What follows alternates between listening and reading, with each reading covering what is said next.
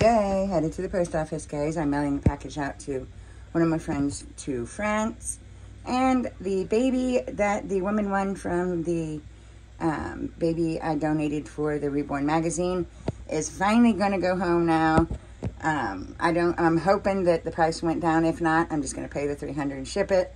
I'm hoping it went down. Um, people said it has went down. So I just want to get this baby to her, but we're going to the post office now.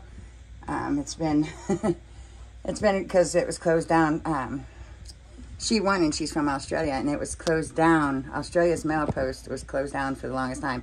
And then it went to where it's very, very, only very expensive to send it. Like 10 pounds is like $300 or something. So it's been rough trying to get this baby home to her mama, her, his mama. So yeah, we're gonna finally do it. The baby's finally coming home. Yay. Bye.